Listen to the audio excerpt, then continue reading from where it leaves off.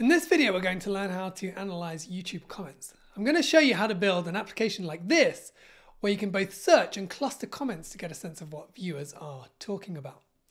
So we're going to follow four steps. So we're going to first get the comments. Second, put the comments into semantic space using an embedding algorithm.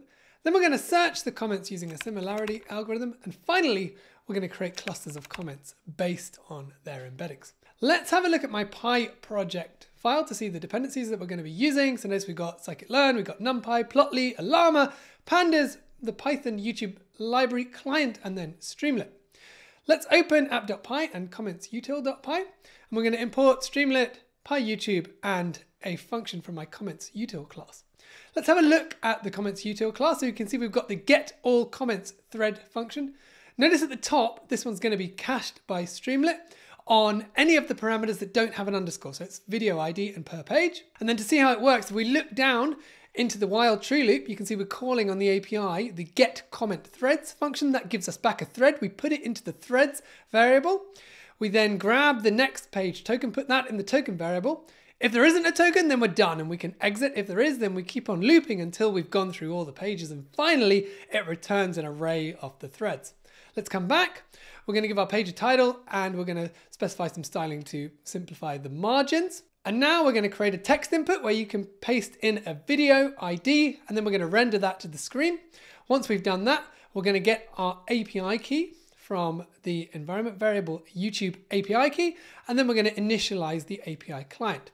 Now to get that API key, you need to go to your Google Developer Console under the APIs and Services section and make sure that the YouTube Data API version 3 is enabled. So you can see for me there, it's got API enabled.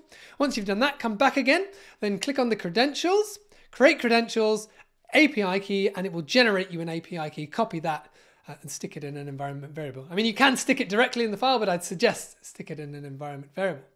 Okay, once we've done that, then we're going to call the get all comments thread function, passing in the API and the video ID, and we'll do 100 comments per page. And then we're going to go into those threads and pull out the comments, and then we'll put the comments onto the screen. Let's go to another tab and we're going to start up our Streamlit app, and then let's go to the web browser. And so you can see here we've got the video ID at the top, and the video that is defaulted to is one by Matt Williams on function calling in Ollama. I'd suggest you have a look at Matt Williams' channel if you want to learn about Ollama. It's a really good resource for that. You can see at the top, we've got a comment by Matt uh, saying, hey, this is a contentious video about function calling. You can see some other people are saying, hey, look, great video, I really liked it. If we then look down a little bit, you can see we've got some people saying output formatting is really necessary, but LangChain does it. Uh, and then we've got a few other comments as well. Next, we're going to create some embeddings. So you'll need to make sure that you've downloaded and installed Ollama. If you're on a Mac, this will already be running in the background, but just call Ollama serve to make sure that it's running. Let's go back to the file and we're going to import the cosine similarity function. We're also going to import Ollama. Next, we're going to create the create embeddings function that's going to take in the comments. Again, we're going to cache that. And then we're going to iterate over the comments. We're going to call the Ollama embeddings function. We'll be using the Nomic embed embeddings algorithm. Now, if you don't have that installed, call Ollama pull nomic hyphen embed hyphen text, and it will bring it down to your machine. And we're going to be doing that for each comment. Once the function's defined, we'll call it and it will be in the embeddings variable. Okay, now we're going to put a heading on the page, search and comments. We'll put another text box, this time for a search term. We're then going to call the Ollama embeddings function again on that search term. So we're getting an embedding for the search term. And then we're going to call the cosine similarity function on the comment embeddings against the search embedding for each of them. And so what that will do is it will find the comments that are similar to the search term that we use. So in this case, it's I love this video. Let's have a quick look what that cosine similarity function looks like. So this is one I got from a video by Simon Willison. So I'll put a link to that in the description below. And now let's finally sort those results so that we get the ones with the biggest similarity on the top. And then we'll iterate through the results and print them to the screen. Let's come back to the web browser. And so we can see for the search term, I love this video, there are a bunch of people who have said great video, thank you, and so on.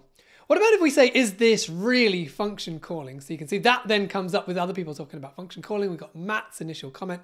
Uh, if we look down a bit, we can see that some people are saying, I was upset that this is how it works. And we've got a variety of other comments. Somebody mentions Pydantic, Next, we're going to look at how to cluster the comments. So we're going to be using Plotly and NumPy to do this. So we'll create a clusters heading and then we're going to create a dendrogram of the embeddings. And what this does is it's going to create a hierarchical clustering of the embeddings. Okay, and then we're going to go to the web browser and have a look at the dendrogram. So you can see this is what it looks like. So you can see it's cutting it at different levels. At the top, we're cutting it into two. Uh, there's a lot more on the right-hand side than the left-hand side. It then cuts them down further and further until you end up with leaf nodes uh, everywhere. Let's come back to our app again, and we're going to import some functions from scikit-learn.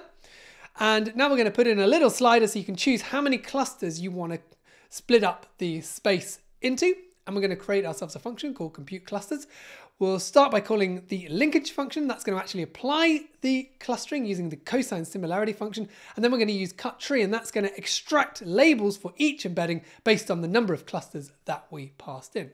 We're then going to create a variable called groups, and that's going to be a dictionary, which has the label, and then we're going to have a list of the comments. So we're just going to put the comments into their appropriate cluster.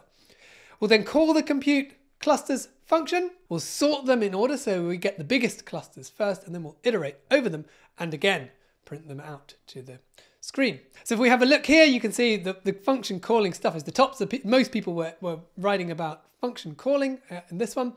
If we look at the next one, there's lots of people saying this is eye-opening, great, great video. And I'm subscribed to the channel. And then if we go down, we've got some smaller clusters where they don't really have like an obvious similarity with each other. I thought let's try this with one other channel. So Matthew Berman is a big Gen AI YouTuber and he posts lots of really useful tutorials. So have a look at that channel as well. And something that he's been trying lately is putting the word shocks into all of the uh, titles. It's like kind of a, a, bit of a YouTube meme, I suppose. Uh, so let's have a look at one of his videos where he's done that. So this is about OpenAI's Sora tool. So we'll copy the video ID and we'll paste it in and you can see it's, it's loaded in his video. And we're going to look, see if anybody has mentioned the word shocked. And you can see there's a bunch of shocks, right? So people have bought into this. They're like, hey, this is a, truly a shock. The whole industry is really shocked. If we look down a little bit, you can see the clusters. So there's way more clusters here because uh, Matthew gets a lot more comments uh, on his videos. And let's so let's say, hey, I want to cut this up into 20. Uh, and you can see, hey, look, everybody needs to look at this. This is kind of amazing. It's sort of video games, physics simulation. If we look down a bit, it talks about Sam Altman and his chip factory. If we come down a little bit more, then we've got a cluster of everybody being shocked. And then you can sort of see there's a bunch of other comments as well. So I'd love to know what you think about this video. So let me know in the comments below. I do try to read and reply to as many as I can. In particular, I'm curious, what else should we do uh, with this application? And if you liked this video, you might also like this one up here where I showed Fast Embed, which is another library that you can use to execute various embedding algorithms. And I'll see you in the next video.